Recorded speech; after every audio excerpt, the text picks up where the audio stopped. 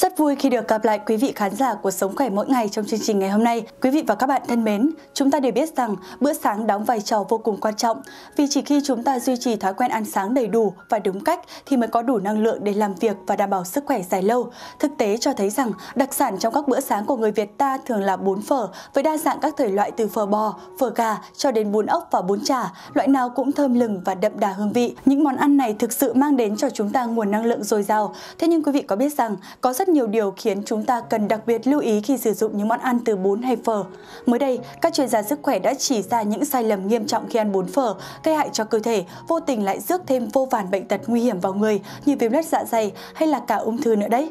Vậy quý vị đã biết những thông tin quan trọng này chưa? Và liệu rằng bạn có đang mắc phải những sai lầm ấy hay không? Hãy cùng theo dõi video để tìm câu trả lời nhé! Các bạn thân mến, có thể thấy rằng bún phở là thực phẩm rất ngon lành và giàu dinh dưỡng dành cho bữa ăn sáng nhưng cũng đừng phạm phải những sai lầm sau đây khi ăn vì bạn có thể ôm họa vào người.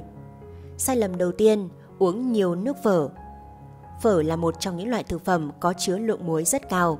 Theo các chuyên gia dinh dưỡng thì một bát phở bò chín có chứa khoảng 3,8 gam muối, còn trong bát phở tái là 3,34 gam. Trong khi đó, lượng muối khuyến cáo của Tổ chức Y tế Thế giới WHO chỉ là 5 gam muối cho mỗi ngày. Ăn mặn thường xuyên sẽ làm loét dạ dày, tá tràng, suy thận, tăng huyết áp và dẫn đến các bệnh tim mạch và đột quỵ. Theo nguyên Phó Viện trưởng Viện Dinh dưỡng Quốc gia khuyến cáo, nước phở là nơi tập trung nhiều muối nhất. Để hạn chế nạp muối vào, ta nên ăn phần cái và ăn ít hoặc bỏ lại phần nước. Chuyên gia cũng cho hay, nhiều người thấy nước phở mặn thường cho thêm chút giấm hoặc chanh để nước phở nhạt hơn. Tuy nhiên, đây cũng chỉ là cách để đánh lừa vị giác, khiến chúng ta nạp thêm nhiều muối mà không hay. Sai lầm thứ hai, ăn bún phở nhai nhanh, nuốt vội. Bún và phở đều là thực phẩm nhiều nước, vì vậy sẽ khiến cho người ăn có xu hướng nhai nhanh và nuốt vội. Thói quen ăn bún phở quá nhanh, nhai không kỹ sẽ khiến cho thức ăn không được nghiền nhỏ kỹ ở khoang miệng, trực tiếp chuyển đến dạ dày khi vẫn ở dạng thô để tiêu hóa tiếp. Điều này làm hại niêm mạc dạ dày, tăng gánh nặng và thời gian làm việc của dạ dày. Sai lầm thứ ba, ăn bún phở quá nóng. Vào buổi sáng, còn gì tuyệt vời hơn việc được thưởng thức những bát phở nóng hổi. Khi được phục vụ tại bàn, bún hay phở đều nóng hổi, vừa thổi vừa ăn. Tuy nhiên, theo khuyến cáo của WHO, nếu tiêu thụ thực phẩm quá nóng sẽ có nguy cơ mắc phải bệnh ung thư thực quản, ung thư khoang miệng, vòm họng vì nhiệt độ cao có thể làm tổn thương các cơ quan này. Đồng thời, đồ ăn quá nóng cũng làm cho hệ thống tiêu hóa và đường ruột dễ bị tổn thương nặng nề. Để bảo vệ cho sức khỏe, các gia đình nên chờ cho bún phở nguội bớt trong khoảng dưới từ 50 đến 60 độ C rồi mới ăn. Sai lầm thứ tư, người mắc bệnh về tiêu hóa ăn nhiều bún phở. Món bún phở chính là một trong những loại thức ăn mà người có bệnh ở đường tiêu hóa phải kiêng. Lý do là vì bún được làm từ bột gạo, ngâm với nước trước khi làm khoảng một ngày để bột nở ra. Trong thời gian này sẽ có quá trình lên men của tinh bột. Vì thế khi ăn, người bệnh dễ bị đầy hơi, chướng bụng, khó tiêu, hại dạ dày, không tốt cho hệ tiêu hóa của bạn. Chính vì vậy, với những bệnh nhân bị viêm dạ dày hoặc hội chứng dạ dày tá tràng thì không nên ăn bún. Sai lầm thứ năm, phụ nữ sau sinh ăn bún phở. Bún phở là những loại thực phẩm có chứa ít protein nhưng lại nhiều tinh bột. Phụ nữ sau sinh không nên ăn nhiều bởi vì đây là thực phẩm được làm từ gạo ngâm nở lên men chua, có thể ảnh hưởng đến hệ tiêu hóa của người mẹ do sau sinh sức khỏe còn yếu. Bên cạnh đó, một số ít cơ sở sản xuất bún có thể sử dụng chất làm trắng hay hàn the Phụ nữ sau sinh nếu chẳng may ăn phải loại bún kém chất lượng như vậy sẽ ảnh hưởng đến cả mẹ lẫn con. Sai lầm thứ 6, cho trẻ nhỏ ăn. Trong bún phở có chất hàn the không tốt cho trẻ nhỏ. Nguyên nhân là trẻ con thường có hệ tiêu hóa chưa hoàn thiện. Chưa kể, bún được sản xuất mất vệ sinh. Nếu mẹ lỡ mua phải bún bẩn sẽ khiến cho trẻ đau bụng, ngộ độc, nôn mửa rất nguy hiểm vì vậy, cha mẹ không nên cho bé ăn nhiều bún phở, nhất là những bé dưới 2 tuổi, cực kỳ hạn chế. Sai lầm thứ bảy, người bị ốm, sốt thường xuyên ăn. Bún phở dễ ăn, nhưng đây cũng là một trong những đối tượng tuyệt đối không được ăn bún. Bởi khi cơ thể đang yếu, ăn bún vào rất dễ bị lạnh bụng, khó tiêu và bị đi ngoài. Đặc biệt với những ai đang bị sốt, ốm nên ăn những món nhẹ như cháo đỗ xanh, cháo thịt hoặc súp để giảm gánh nặng cho đường tiêu hóa. Quý vị thân mến, bạn có thường xuyên mắc phải những sai lầm vừa rồi khi dùng bún và phở cho bữa sáng của mình hay không? Nếu có thì hãy thay đổi ngay nhé. Thưa quý vị, có lẽ bất cứ ai trong chúng ta cũng đều biết rằng bữa sáng là bữa ăn quan trọng nhất trong ngày, nhưng sự thật thì có bao nhiêu người dành cho bữa sáng sự quan tâm đúng mực? Câu trả lời là không nhiều. Tất nhiên thì điều này hoàn toàn có thể hiểu được khi xem xét yếu tố cuộc sống hiện đại ngày nay trở nên quá bận rộn. Tuy nhiên thì nếu bạn vẫn đang duy trì những thói quen ăn sáng sau đây, hãy thay đổi ngay kẻo hối hận không kịp, bệnh tật triền miên quý vị nhé. Sai lầm đầu tiên, bỏ bữa hoặc ăn bữa sáng qua loa. Như đã đề cập ở trên, bữa sáng là bữa ăn quan trọng nhất trong một ngày. Nhưng đôi khi bạn rơi vào tình cảnh không thể nuốt trôi một thứ gì vào bữa sáng. Bạn không nên làm như vậy, mà thay vào đó hãy lựa chọn một ly sinh tố rau xanh, giàu dinh dưỡng hoặc những thứ gì đó tương tự. Do hàm lượng protein có trong đó, sinh tố rau xanh được coi gần như là một bữa ăn bình thường và lành mạnh. Sai lầm thứ hai, ăn sáng quá no. Một bữa ăn sáng thích hợp sẽ tạo điều kiện cho việc nạp năng lượng trước khi bắt tay vào làm việc. Nhưng việc ăn quá nhiều thức ăn vào bữa ăn sáng sẽ có tác dụng ngược lại, dễ gây ra đau bụng, nặng bụng, khó tiêu và dư thừa calo. Vì vậy, tốt nhất bạn nên đặt ra lượng calo vừa đủ cho cơ thể để có được chế độ dinh dưỡng phù hợp nhất với bản thân mình. Sai lầm thứ ba, ăn sáng ngay sau khi ngủ dậy. Thực tế, ăn sáng ngay sau khi ngủ dậy lại không tốt cho sức khỏe, thậm chí còn có hại cho dạ dày. Sau một giấc ngủ dài, hầu hết các cơ quan của cơ thể vẫn lưu lại một phần của bữa tối. Cơ quan tiêu hóa vẫn cần thời gian để xử lý và hấp thụ nốt phần ăn đó. Nếu ăn bữa sáng quá sớm, thức ăn sẽ chồng chất với nhau, ảnh hưởng đến đường tiêu hóa. Vì vậy, khi ngủ dậy, cơ thể nên vận động, nghỉ ngơi và ăn sáng sau khoảng từ 20 cho đến 30 phút. Sai lầm thứ tư, ăn sáng quá nhiều dầu mỡ.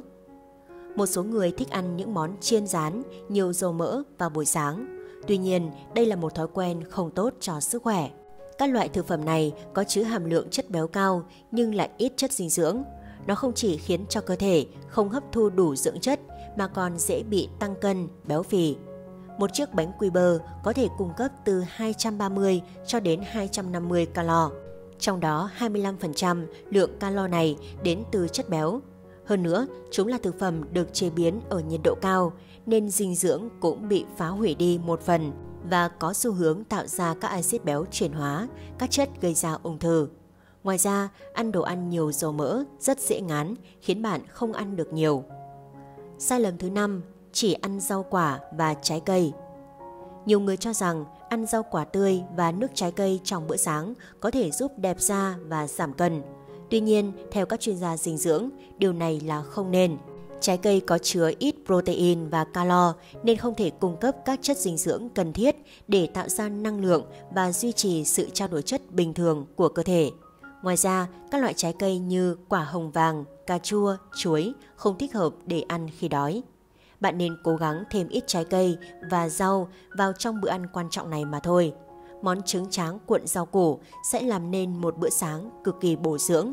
Bạn không phải ăn một bữa sáng phong phú của bít tết và trứng để lấy đủ chất đạm. Thay vào đó, bạn nên ăn trứng và phô mát với trái cây cùng nhau, các chuyên gia nói. Sai lầm thứ 6, ăn thức ăn quá cay.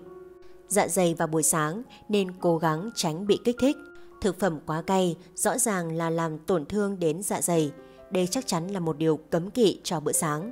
Ớt hoặc hạt tiêu có thể kích thích thành bên trong của thực quản. Sau khi ăn, nó sẽ gây ra đau tim và tăng gánh nặng cho dạ dày. Sai lầm thứ bảy, vừa đi vừa ăn. Đây là thói quen thường gặp của học sinh và nhân viên văn phòng. Mọi người thường tiện mua đồ ăn trên đường đi học, đi làm và vừa đi vừa ăn. Thói quen này không có lợi cho hệ tiêu hóa, quá trình chuyển hóa và hấp thụ thức ăn. Ngoài ra, đường đi là nơi có quá nhiều bụi bẩn, ô nhiễm, không thích hợp cho việc ăn uống. Bạn hoàn toàn có thể mua đồ ăn hoặc tự mang đồ từ nhà và đến trường, đến văn phòng ngồi ăn một cách thoải mái thay vì vừa đi vừa nhai. Sai lầm thứ 8, ăn thức ăn thừa từ tối hôm trước. Rất nhiều người nghĩ rằng tận dụng lại đồ ăn từ tối hôm trước cho bữa sáng để tránh lãng phí, lại tiết kiệm được thời gian chuẩn bị cho bữa sáng. Nhưng thói quen này là một sai lầm rất lớn. Việc dùng lại đồ ăn thừa của bữa tối hôm trước là một điều không nên, bởi một vài loại rau xanh để qua đêm có thể sinh ra chất gây ra ung thư, ăn vào rất gây hại cho sức khỏe. Các chuyên gia cũng đã chỉ ra rằng thức ăn không giữ lại giá trị dinh dưỡng toàn vẹn sau thời gian dài lưu trữ. Vì vậy, bữa sáng nên cố gắng ăn đồ ăn tươi mới.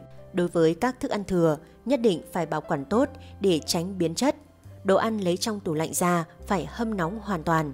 Ngoài ra, để rút ngắn thời gian, bạn có thể chế biến sơ qua thức ăn từ trước.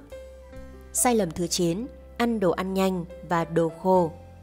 Một số bà mẹ dự trữ sẵn vài hộp bánh quy, bim bim hay mua vội cho con hamburger, gà rán để con ăn uống gọn nhẹ rồi đi học. Nhưng thực chất lại tạo gánh nặng cho dạ dày. Những bữa ăn sáng nhanh như vậy sẽ thừa năng lượng nhưng lại thiếu vi chất. Vì vậy, nếu chọn đồ ăn nhanh cho bữa sáng thì các mẹ nhớ bổ sung vào các bữa khác thêm hoa quả và canh rau. Cách ăn bữa sáng tốt cho sức khỏe như sau. Bữa sáng lý tưởng là sự kết hợp hoàn hảo giữa thực phẩm giàu protein và chất xơ như trứng với rau xanh, sữa chua với trái cây, hạt hạnh nhân với hạt chia, hạt hướng dương. Những bữa sáng này không chỉ giúp bạn kiểm soát đường huyết mà còn giúp bạn thấy no lâu hơn cho đến tận bữa trưa. Cùng với đó, theo nghiên cứu khoa học, khung giờ từ 7 đến 8 giờ sáng là thời gian thích hợp nhất khi sự thèm ăn tự nhiên của cơ thể biểu hiện rất rõ ở thời gian này. Nếu bạn ăn thì hiệu quả tiêu hóa sẽ ở mức tốt nhất.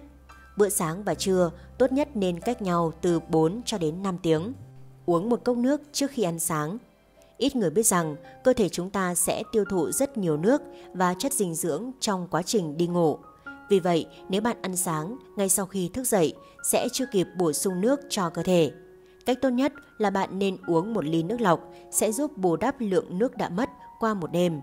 Bạn cũng có thể kết hợp nước ấm pha cùng với mật ong, còn có công dụng làm sạch ruột, vô cùng hiệu quả. Quý vị thân mến, chắc hẳn qua những thông tin vừa rồi thì bạn đã biết cách xây dựng cho mình một chế độ ăn uống lành mạnh rồi đúng không nào? Đừng quên chia sẻ những kiến thức hữu ích này đến bạn bè và người thân để mọi người cùng áp dụng quý vị nhé. Cảm ơn quý vị đã quan tâm theo dõi chương trình. Xin kính chào và hẹn gặp lại trong những video tiếp theo.